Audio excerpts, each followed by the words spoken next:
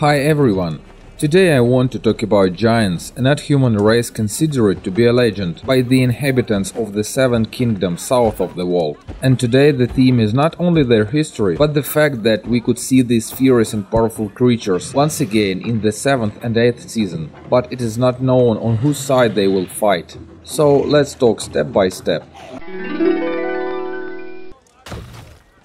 According to legends, giants inhabited the territory of Westeros before the arrival of the first men. In former times they fought with the children of the forest, but after a total victory over the others 8000 years ago, the giants went beyond the wall.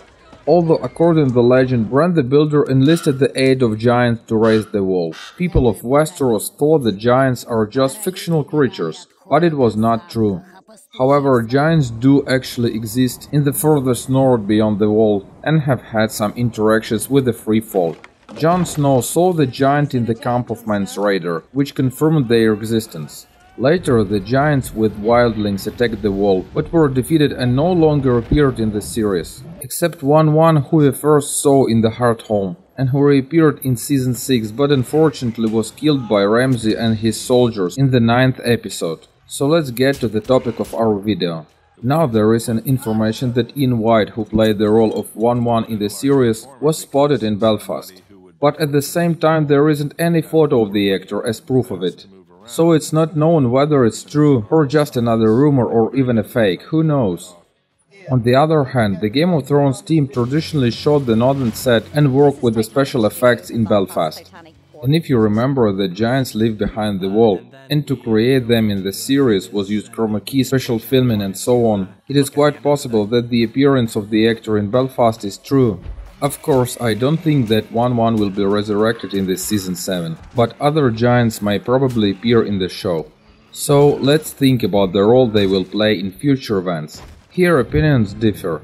Some fans think the Giants will keep the Night Watch, because they helped to build the wall 8000 years ago. As for me, this statement might be true, but it is not only option. There is another opinion that the Giants will support others, of course being the dead creatures. And this theory is explained by following. The most important argument is that the Giants live to the north of the wall. Now the power of White Walkers and the Night's King is becoming more and more overwhelming there and then there are great chances that the giants will be subdued by others. And now we have to mention the legendary Horn of Winter, also known as the Horn of Joramun. According to the legend, this horn is able to destroy the wall and wake the giants from the earth. Perhaps this legend should not be taken literally, and it just means that the giants that helped to build the Great Wall will help to destroy it. I think no one doubts that the wall will fall in Season 7 and it also is a small reason for the appearance of giants who will not be on the side of people. And finally one more thing. Creating of giants being a quite complex process is easier and cheaper than creating direwolves, dragons and so on. So from that point of view, the creators of Game of Thrones may return the giants in the series. That will be much easier, cheaper and no less spectacular.